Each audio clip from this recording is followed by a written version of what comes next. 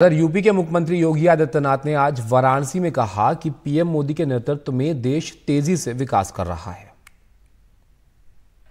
पीढ़ियाँ बीत गई,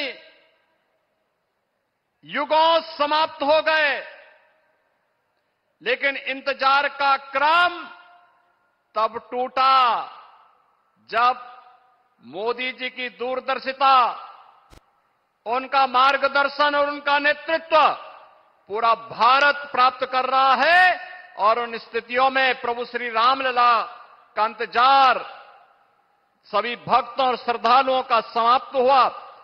आदरणीय प्रधानमंत्री जी का काशी आगमन ऐसे समय में अत्यंत महत्वपूर्ण है और इस अवसर पर काशी विश्वनाथ धाम के बाद अयोध्या धाम में श्री रामलला का विराजमान होना हर सनातन धर्मावलंबी को, हर भारतवासी को अभिभूत करता है। हज़ारों करोड़ रुपए की इन योजनाओं को लेकर के आदरणीय प्रधानमंत्री जी का आगमन यहाँ पर हुआ है। अभी सामने आपकी बनास डेयरी है।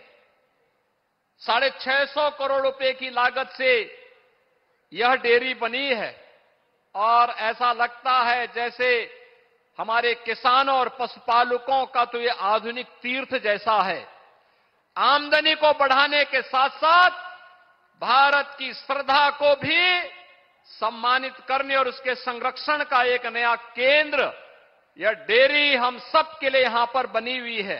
स्वास्थ्य के लिए एक नया मेडिकल कॉलेज काशी को आज प्रधानमंत्री जी के कर कमलों से इसका शिलान्यास भी होने जा रहा है।